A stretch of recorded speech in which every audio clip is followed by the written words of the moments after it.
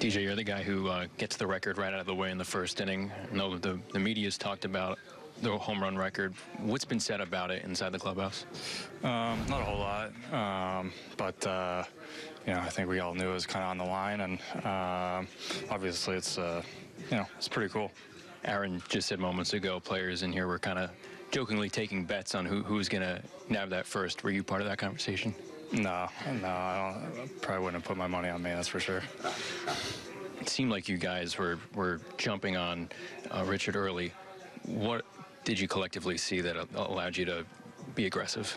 Um, you know, we, we saw him earlier this season, so I think, um, you know, seeing him already, uh, there's a certain level of comfort there. But um, you know, he got him, but he uh, he settled in, p- ended up pitching pretty well. Um, you know, but uh, you know, all of our big swings today, um, you know, just put us ahead, and and uh, we were able to chip away.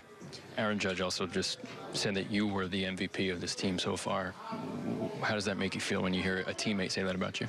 Uh, you know, I don't know about that. I, I mean, we got we got so many good guys in this lineup um, that uh, you know, for me, it's just uh, there's no pressure um, because you know if you don't come through, the next guy will, and um, you know, it's just a lot, it's just a, a fun lineup to be a part of. DJ, you've been with some real powerful lineups, uh, especially with Colorado, uh, obviously with Colorado. What makes this lineup so much different than what you played with before?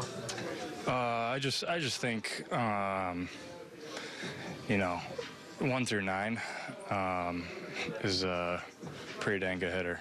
Um, there's no uh, no easy outs throughout the lineup, that's for sure. And um, you know, you get to the middle of our lineup, it's uh, it's pretty scary.